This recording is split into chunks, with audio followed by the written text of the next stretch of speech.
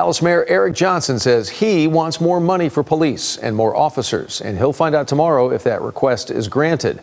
That's when the city manager releases the city budget.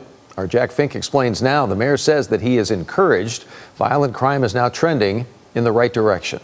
It's a few months in and it's already showing results. Dallas Mayor Eric Johnson praised Police Chief Eddie Garcia's violent crime reduction plan. After murders and aggravated assaults increased for two years, DPD says there were 118 murders between January 1st and August 1st. That's down by four from the same time period last year. Aggravated assaults, non family violence are still more than 3% higher than last year during the same time period. But the mayor says the increases have slowed.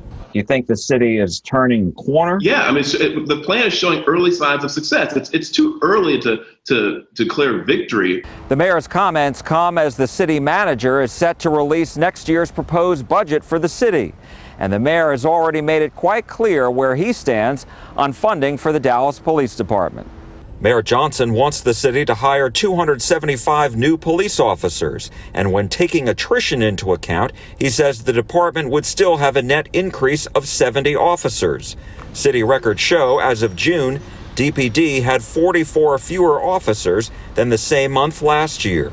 We'll see soon enough um, just how much uh, the city manager um, is listening to me and I believe the residents of the city when we say we want to prioritize public safety. The mayor has also said he wants officers and firefighters to receive salary increases to remain competitive with their counterparts in North Texas. We can afford to do it um, out of the money we've gotten from the federal government. The city council will have to approve next year's budget by the end of September. It takes effect October 1st.